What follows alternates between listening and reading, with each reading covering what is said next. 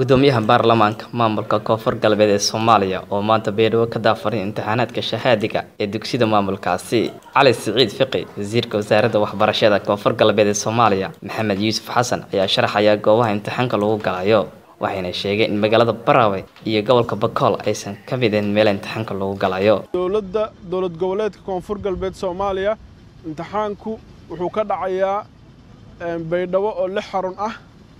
iyo waxa uu kaloo ka dhacayaa degmada afgooye oo lower shabeelle ah shabeellada hoose ah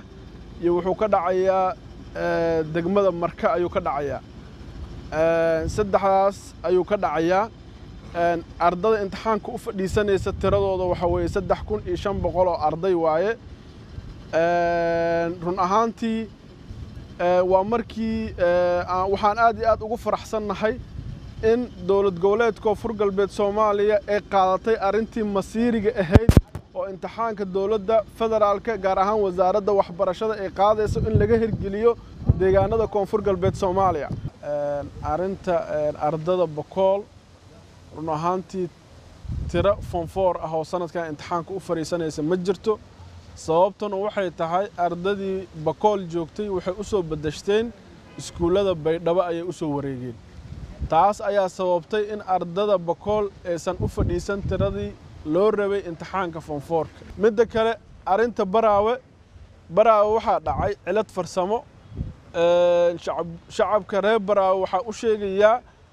inay dhacday cilad farsamo oo dhanka gaadiidka ah sida ay wasaaradda waxbarashada federaalka noo sheegtay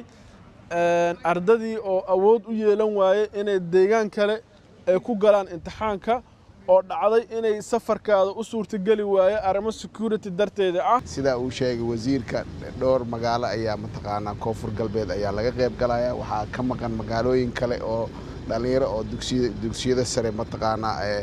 sannadkii afraad ay joogaan oo ay u suurageli weysa in imtixaankan ka qayb galaan. Marka waxaan leenahay arrintaa mas'uuliyaddeed waxaa qaadaya wasaaradda waxbarashada ee federaalka. Saddex kun iyo shan boqol oo arday ayaa u fariisatay imtixaanaadka shahaadiga ee deegaanada maamulkaasi koonfur galbeed soomaaliya cabdicasiis haykal raadiyahay telefishinka city magaalada muqdisho